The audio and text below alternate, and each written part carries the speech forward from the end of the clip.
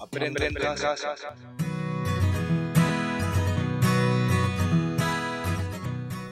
Hola a todos, en este vídeo vamos a resolver un problema que trata de tetraedros en el espacio y puntos genéricos. Para ello resolveremos un problema de la GAU de septiembre de 2019. En este primer vídeo solamente haremos los apartados A y B. El problema consiste en que tenemos tres puntos que son vértices de un tetraedro y además el vértice D está contenido en la recta R que es perpendicular al plano pi y pasa por el punto P. El apartado A nos dice calcular la ecuación del plano que contiene a los puntos A, B y C. Y el apartado B nos pide la recta perpendicular al plano pi, que pasa por el punto 1, 1, 1. Lo primero de todo, vamos a resolver geométricamente el apartado A, que nos dice calcular la ecuación del plano que contiene los puntos A, B y C. Primero de todo lo representaremos en el espacio y además haremos una simulación en 3D.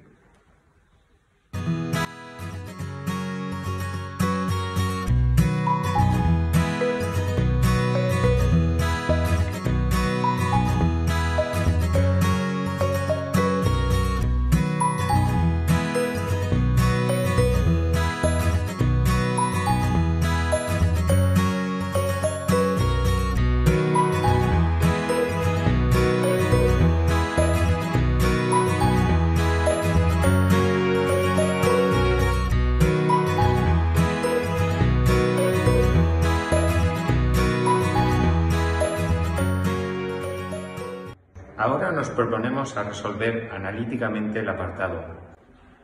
Un plano está determinado por dos vectores directores y un punto contenido en él. Entonces, si tenemos los puntos A de esa forma, B de esa forma y C de esa forma, tenemos que el vector AB es B menos A y operando llegamos a que es menos 3, 3, 0. De la misma forma, para calcular el vector AC, calculamos C menos A y llegamos a que nos da menos 3, 0, 3. Entonces la ecuación del plano vendrá dada por el siguiente determinante igualado a 0. Entonces el determinante estará formado por x, y y z menos el punto a sub 1, a sub 2, a sub 3, el vector u sub 1, u sub 2, u sub 3 y además el vector v sub 1, v sub 2 y v sub 3. Entonces desarrollando ese determinante por los adjuntos de la primera fila, calculando, operando y desarrollando, llegamos a que la ecuación del plano será de esa forma. Y además, simplificando, tenemos como ecuación final del plano será x más y más z menos 3 igual a 0.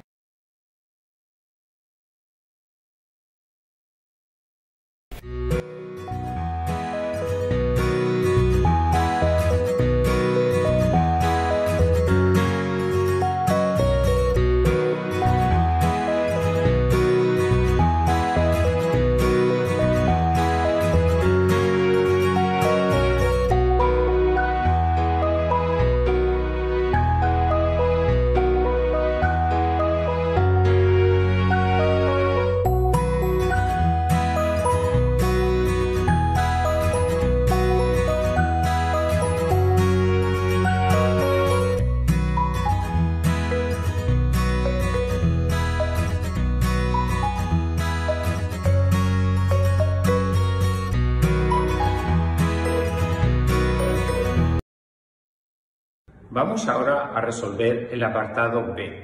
El problema nos dice calcular la recta R que es perpendicular al plano pi y pasa por el punto P. Primero de todo lo representaremos en el espacio y además haremos una simulación en 3D.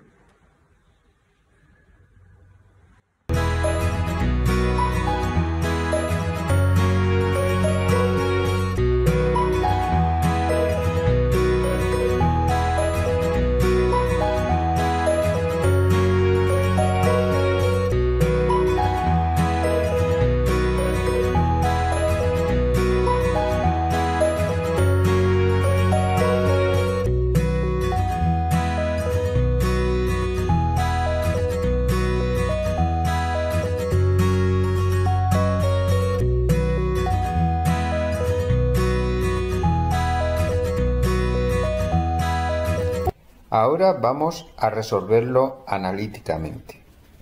Para construir una recta R que pasa por P y es perpendicular al plano pi, tenemos la recta estará formada por el vector normal al plano n, que será su vector director v, y además pasa por el punto P, que es 1, 1, 1. Sabiendo que si un plano tiene la ecuación implícita ax más bi más cz más d igual a 0, tenemos que su vector normal al plano tendrá de coordenadas a, b, c. Como el plano es de la forma x más y más z menos 3 igual a 0, tendremos que su vector normal tendrá de coordenadas 1, 1, 1, que será el vector director de la recta R. Entonces, si expresamos R en forma continua, tendremos que será x menos 1 partido por 1 igual a y menos 1 partido por 1 igual a z menos 1 partido por 1.